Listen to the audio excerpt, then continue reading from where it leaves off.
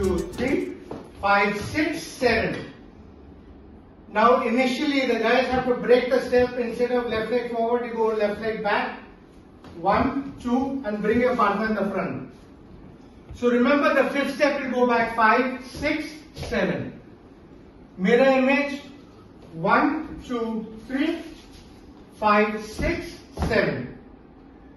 The basic step again one, two, three, five, six, seven.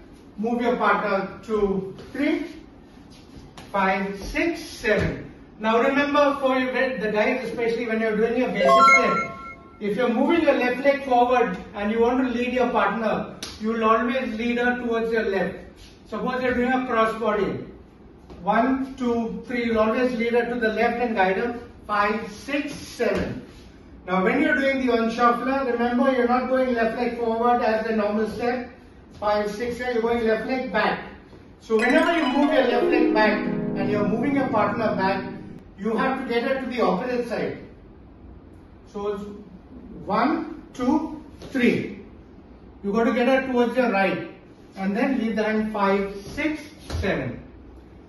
So remember you go back one, two, three, leave this hand, five, six and seven. So quickly goes one, two, three, five, six, seven, go one, two.